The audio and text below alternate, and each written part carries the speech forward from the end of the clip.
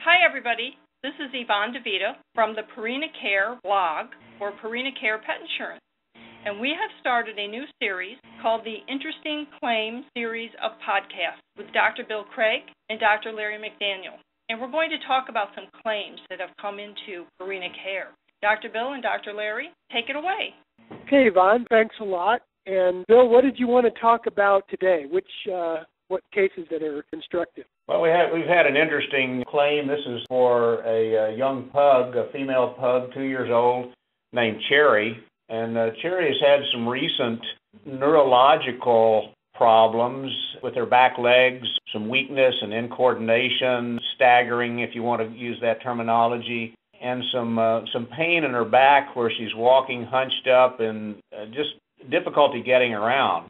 And, and as you know, uh, most veterinarians and a young adult dog that are just uh, demonstrating that sort of uh, clinical presentation, our first suspicion is that this would be a spinal disc problem in which one of the discs between the vertebra, the cartilage disc between the vertebra and the back, is protruding upward and putting pressure on the spinal cord, which then leads to decreased neurological function, so lack of control of the legs and the coordination. It's also painful. It hurts a lot. You know, a lot of us have had back problems, spasms, you know, that can be quite debilitating. So that type of a condition is very common in some of the breeds like dachshunds and basset hounds that have the really long, drawn out lumbar spines.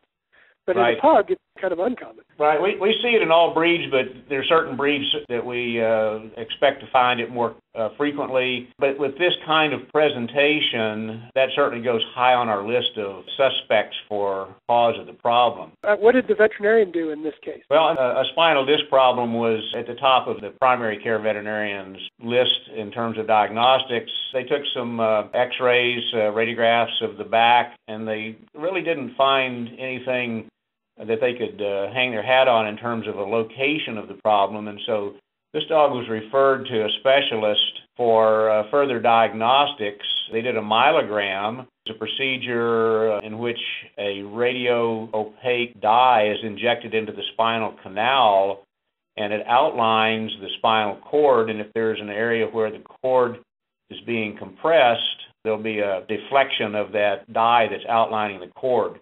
They did find a lesion, but it didn't look quite like what they expected from a spinal disc problem. So this dog was also referred for an MRI. Many people are familiar with because they may have had the procedure done on themselves or a friend or family member.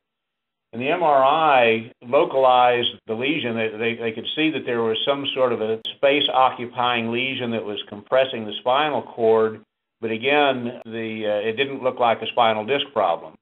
So Cherry ultimately then was referred for surgery. A board certified veterinary surgeon performed spinal surgery on Cherry, and they discovered that there was a cyst uh, growing in the lining of the spinal cord. This is a uh, quite an unusual diagnosis, but the cyst was a little fluid-filled pocket, and that fluid was causing compression of the spinal cord and, and leading to the neurological signs that Cherry was showing. The surgeon did a procedure to uh, remove this cyst and uh, relieve the pressure on the spinal cord, and Cherry has done quite well after the surgery. Of course, there's a convalescence period while the, the surgery uh, site itself heals, but she's doing a lot better, and Cherry's owners are quite pleased that she's made such a nice recovery, and they have told us that they never would have been able to have provided this care for Cherry if they hadn't had the pet health insurance.